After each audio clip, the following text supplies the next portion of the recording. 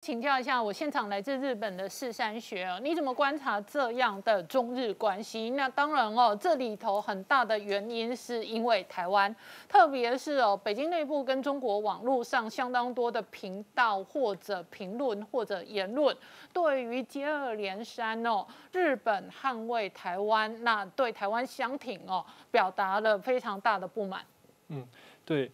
呃，的确是中国国内本来就有这个反反日这个情绪存在，因为是由于是这个历史的因素，所以一旦点火了，就很容易就是编辑到就是全国。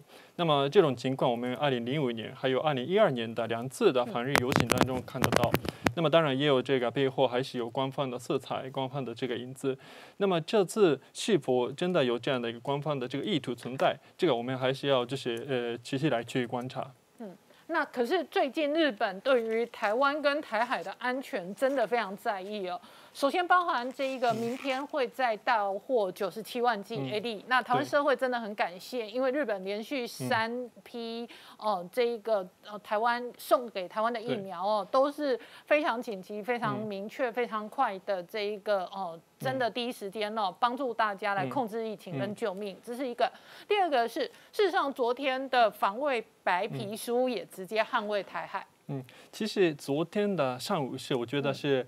呃，对日台关系来说是非常有意思的一个呃一个一个 moment 一个瞬间。也就是说，昨天的这个呃上午的呃两场记者会，呃对这个以后的这个关系来说也非常重要。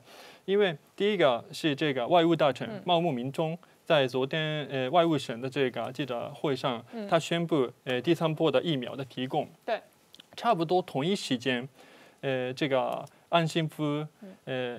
就是防卫大臣，呃，在呃这个他的防卫呃防务省的这个记者会上，他宣布说，呃这个呃防卫大防卫白皮书的具体的内容。那么同时他也提到说，这个台海呃台湾的呃台呃台湾局势的稳定对我国来说，我国的安全保障来说是非常重要这样的一个字字语。那么这是以前是没有的。所以我想，呃，这个同一时间，这个日本的重量级的两位大臣在记者会上宣布非常重要的内容。我想这个也是，呃，现在呃表明了日台关系已经到了这样的一个非常深的一个级别的呃一个一个情况的一个表示。那么关于这个防卫白皮书，呃呢，我想除了这个刚刚我提到的这个，呃，安信夫大臣所说的这个台海呃台湾的局势的稳定对我国安全。呃，保障非常重要。这个话语，这个话语呢，也是呃写在这个防卫白皮书里面。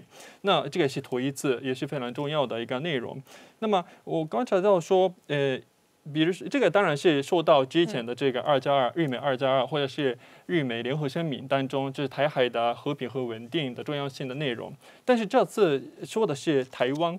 台湾局势，所以不是台海，所以这个也是有一些变化。那这个变变化是不是有呃具体的意思？这个我们也要还是要去观察。那么还有一个地方就是说，以前这个台湾的这个表述呢，都是在这个中国的一个章节的下面。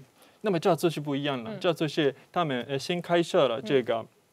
呃，中美关系，呃，美中关系这样的一个章节，那么台湾的有关的内容呢，跟南海的这个有关的内容一样，呃，都放在这个地方上面去，所以这个也是很大的一个变化，呃，也可见了这个日本官方对台湾问题的一个看法或者是立场，那么。还有一个，我想就是很重要的地方，就是说这个白皮书上面，呃，一开始的部分是这个岸信夫，呃，大臣他自己的这个署名的文章。对。那个这个署名的文章，我觉得很有意思，就是说他在里面呃提到说，这个我们与志同道合的伙伴一起，作为亚太地区的呃普世价值的旗手，爱护自由，兴旺民族主义，呃，践踏呃。